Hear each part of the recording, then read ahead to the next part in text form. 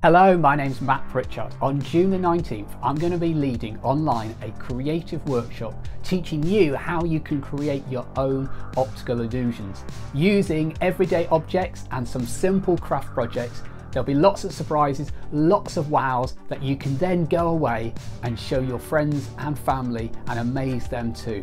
Things like this.